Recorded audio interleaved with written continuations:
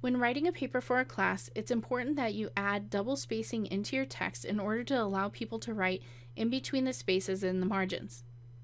Looking at this paper, it's currently single space, but if you look at it in single space, you'll notice that there is more space every time a person hits enter or return on their keyboard. So in this instance, when I hit enter or return at the end of this paragraph, you'll see a gap between the first and the second paragraph.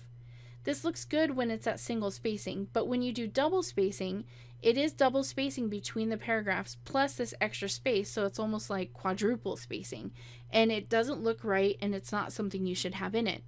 So the thing you should do is before you double space, you should highlight everything, and the keyboard shortcut for that is Control A. If you're on a Mac, you'll need to hit Command A. That's going to highlight everything. Then we need to go up to the line spacing button and before we choose double spacing, we need to remove the space after the paragraph. So remove that space and you'll see now that everything is at single spacing. Now you can control A or command A again and go up and choose double spacing. Now we have more space between the lines, but we don't have those quadruple spacing that we would see every time somebody hit the enter or return key.